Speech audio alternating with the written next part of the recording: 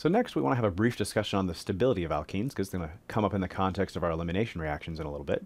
Uh, and it turns out their stability can be related to how substituted they are. Uh, in this case, your sp2 carbons can be bonded to two groups each, and if all four of those are hydrogens, we say it's unsubstituted. Uh, but as I start replacing hydrogens with carbon chains, and it doesn't matter if they're methyl, ethyl, propyl, whatever, but just I start replacing each of those four hydrogens sequentially with carbon chains. So here, one out of four positions of carbon, we call that monosubstituted. If two out of the four positions are carbon chains, we'll call that disubstituted, and we'll see that you can have both cis and trans.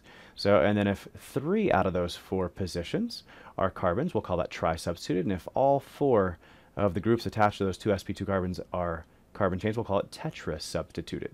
So and it turns out the more substitutes, more stable, and that's why I've got them going to lower energy here.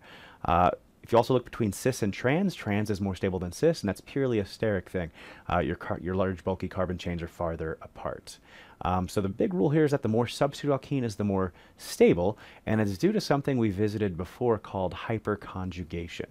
Now we looked at hyperconjugation, and hyperconjugation was related to uh, carbocation stability as well, and we're seeing its alkene stability here uh, also. So if we take a look at one of these here for just a second, so I'm going to bond this to a bunch of hydrogens and then to one methyl group.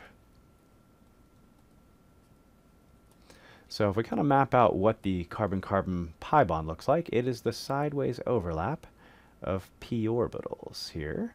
And so we get a little bit of overlap here and a little bit of overlap here. That's your pi bond.